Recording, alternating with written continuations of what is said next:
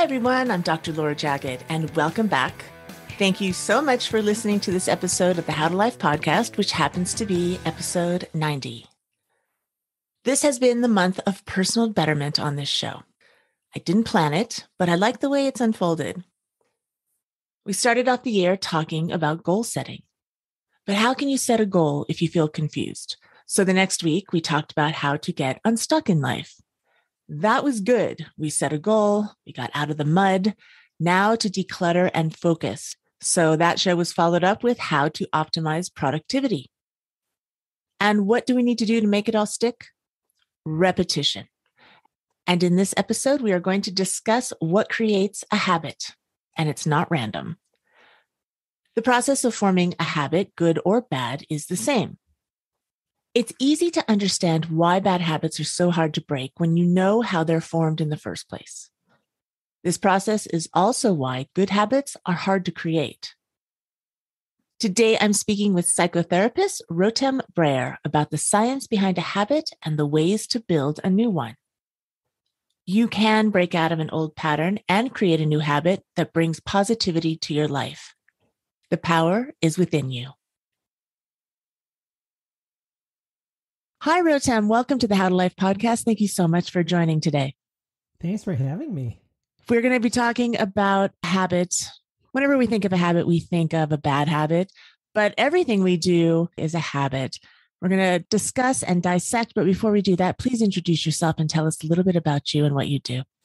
Yeah, so I'm Rotem. I am a psychotherapist. My specialty is EMDR therapy, and which is a maybe a topic for another episode.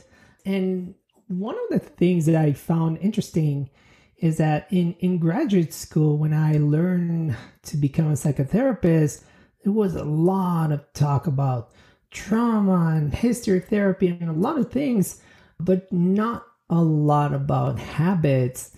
And what I found from my clients is that when clients come to see me, a lot of times they need help with creating new habits and breaking old habits, what we call bad habits, which, by the way, in terms of the brain, it, there's no bad or good. It's just habits that we all have. So I really spent a lot of time helping my clients create new ones.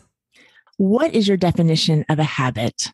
Habits, in their most basic form, are neurological patterns in the brain. So when we create new habits, we create new pathways in the brain. These are things that are not metaphors, by the way. These are things that we can see with brain scanners. Old habits are always going to be there. When we create new habits, we create new pathways. And what happens is as we create this new pathway, it's not as strong as a neurological pattern that we've been repeating over and over and over again for many years. So we need to strengthen this new pathway. We need repetition in order to create new habit. Now, you had mentioned in the intro that a habit is neither good or bad, and they're created the same way. There is a similar process in creating a habit. What is that process?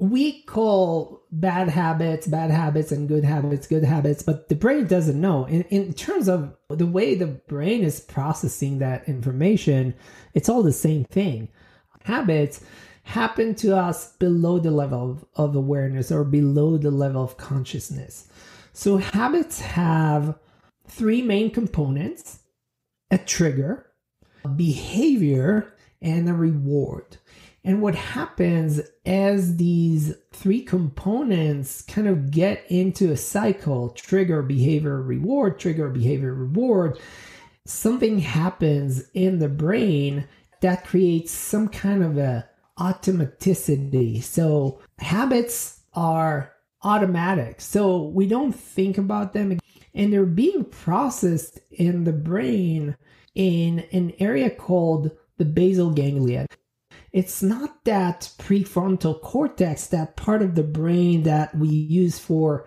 conscious thinking. It's a very ancient part, and that's where habits are stored in the brain. Now, a really great resource, a book that I read and reread a few times, is The Power of Habit by Charles Duhigg. It's a really, really great book that explains how habits work in the brain.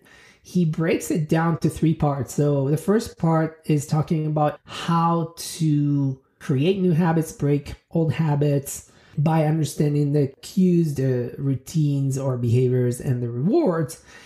And the second part talks about companies. So companies understand, they really understand the complexity of habits. So when you think about companies like McDonald's, when you go to every McDonald's in the country, you get the same cues, you get the same triggers. And at some point, you really stop thinking about what you're doing and you're just acting automatically. Think about social media companies. How many times did you go on whatever your favorite social media platform is and just to check something and spend the next hour or two on that platform? And that's a direct result of triggers, these cues that these companies are using. Is it the cue or is it the reward that really captures the attention? That's a really great question. So it's actually both. What's interesting is that when most people try to change a behavior or create a new behavior, they focus on the, the behavior itself. And what we need to focus on is the cues and the reward. So let's say, for example, that I want to start a new exercise routine. Most people focus on the exercise itself, and most people are really good at starting, but not good at sustaining the new habit. There are a lot of really interesting studies about people who stuck with an exercise routine, who were very consistent about it. And what they found is that they focused both on the cues and on the reward. So for example, if you want to start a new exercise routine, one of the things that you can do is prepare your exercise clothes and shoes in the evening. So when you wake up in the morning, that can be a cue. Now, a cue can be a lot of things, right? So it can be your exercise clothes, it can be the same time every day. Cues can be a lot of things for people who are addicted to alcohol, for example driving by a liquor store is a huge trigger. We know that triggers, for example, increase the level of a chemical called dopamine. So we used to think about dopamine as one of the pleasure neurochemicals in the brain. And then as we developed more understanding, we started learning that it's directly tied to rewards. So when you anticipate a reward, there's an increase of dopamine in your brain. And dopamine is not increasing as a result of the reward itself, it's increasing as a result of anticipation of the reward. So let me give you an example. We're going back to McDonald's. Let's say, Laura, you went to McDonald's. So Today was the very first time you went to McDonald's, and the second you take a bite, your brain is getting a flush of dopamine. It tastes good and the reward. Right, that's a reward. Your brain is teaching itself that this is a behavior that is worth repeating. You like it so much that you start going every day. And after a week, this splash of dopamine is not when you take the bite, but when you're standing in line at the register to order your burger. The anticipation. And, exactly. And it's not conscious. So when you get this splash of dopamine, you start craving it. Now, what happens six months later, you drive down the highway, you see that sign, and you're not even thinking about it. It's not conscious. You take the exit, and before you know it, you end up in McDonald's. So, whenever you want to change a habit, you need to automate the process. So you had started saying with the example of starting a workout program, you have everything ahead of time. So you don't have to think about it. The shoes are there, the clothes are there. Is that right? Exactly. That is exactly right. And we can reshape our habits. We can eliminate the undesired or the bad habits by understanding and changing, making little tweaks in the cues, the triggers, and the rewards. Uh, let me talk a little bit about the reward because, for example, if we want to break uh, eating habit, when we eat things that taste good that give this immediate reward, it's really hard to compete when we eat, you know, like uh, kale lettuce. So, what I do with my clients, we sometimes visualize what's the ultimate reward. There are external rewards and internal rewards. So, internal rewards are, for example, when when we exercise on a regular basis there's the endorphins. When exercise starts to to feel good that's the internal. But when people start the exercise routine they sometimes have to give themselves external rewards. For example if a client is trying to lose weight and they're trying to start a new exercise routine in the beginning phase i encourage them to do something is that seems counterintuitive. So do your workout and then treat yourself to something that is not necessarily healthy, but you are creating this habit. You're reinforcing the habit. So you're giving yourself an external reward. And at some point, when we exercise long enough, we get this positive internal reward when we start a new habit, we teach our brain so we can do it with some visualization exercise to anticipate the reward. And that's a longer term rewards. It's not that easy. Most people prefer donuts and things like that. So we do some preparation exercises. What are you going to do? What are you going to focus on when you go to work and that lady from the front desk brings her donuts every Tuesday and they're, you know, they're sitting there right in front of you. That's a huge trigger that a lot of times people don't really use conscious thinking when they grab a donut. So, what are you going to do? What are you going to look like? What are you going to feel like? And by visualizing it, a lot of times people can create this internal reward in advance. So, my final question is why is it that people will break an undesirable habit, smoking, overeating, drinking, even, and then they'll go a long period of time? They sort of have reprogrammed themselves and then, quote unquote, fall off the wagon. What happens there? In my experience, what I see most commonly, so I, I work a lot with addictions, people who've been addicted to drugs, alcohol, pornography, food.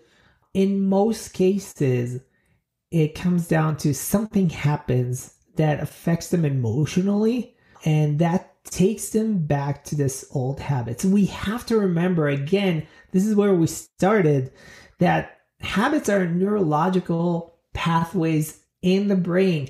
And when we create a new habit, it doesn't mean that the old habit is going away. It's still there and it will still be there. What we need to do is strengthen this new pathway that we created by repetition with the hope that we're not going back to our old pattern.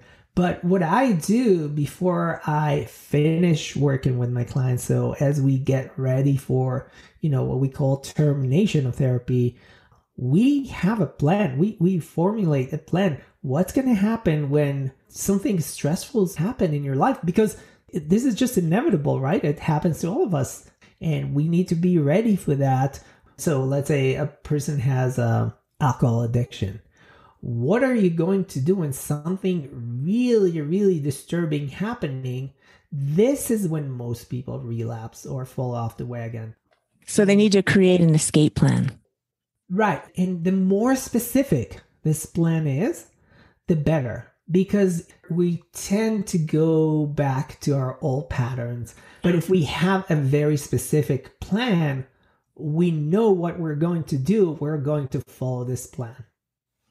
We're just about out of time on this, but I want to ask you one question.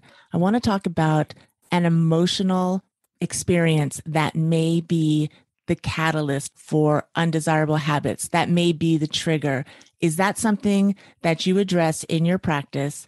And I know you do EMDR, which we did not define, but I think I'm going to have you back and we're going to talk all about that. Is that something you address as well? Yes. So, so you asked for an example of something that would happen that will kick people off the wagon. For example, loss of a loved one. You know, a lot of people have 20 years of sobriety or 10 years since they stopped smoking, and then they lose someone or something really bad happens and then before they know it, they go back to their old pattern. So there are some ways that we can prepare them. EMDR is one of them. EMDR is really, really amazing approach. It shook everything I knew about therapy and how effective it can be. Can EMDR help with keeping good habits going? Absolutely. So with EMDR, we have very specific ways that we can help people to desensitize these cravings so they they're prepared so once the the craving is rising. When they are facing a trigger they know exactly what to do. That is a great cliffhanger. We'll come back and we'll do another interview all about emdr thanks for talking about habits and formation and breaking today. It was awesome. How can people find you? Uh, the best way, if they can just Google the art and science of EMDR, uh, that that's my website. Um, I'm it's mostly for EMDR clinicians who you know looking for to learn more about EMDR. I provide provide consultations to EMDR clinicians. But uh, if people want to contact me, there's a contact um, page there, so that's where people can find me. The art and science of EMDR. Thank you very much, Rotem Brayer, for joining me today. I really appreciate your time. Thanks for having me. I'm really happy to be able to share information and knowledge to help you be the best you can be in your journey through life. Make sure you check out the book, The Power of Habit by Charles Duhigg, to learn more about how to break your old pattern and build a new habit. The link for this book and the contact information for Rotem Brayer will be in the show notes, howtolife.com slash 090. If you're enjoying this content, please subscribe to the How to Life podcast so that you don't miss an episode. I love talking and teaching about personal development, but I also love teaching some practical adulting skills on my YouTube channel as well that I call Mominars. A Mominar is a seminar given by a mom, and that is me. They're only five minutes long on a specific basic life skill. It's just patient and encouraging instruction that you can watch as many times as you need. All of this content is on my website, howtolife.com. Check it out and then follow the links and subscribe. Thank you so much for supporting me and listening to this show. If you would, please hit the five star rating button before you sign off I would really appreciate that. And I appreciate you so much. Thank you for your time today. I am sending you so much love and encouragement. You really aren't far from where you want to be, and it's all in your control. You got this.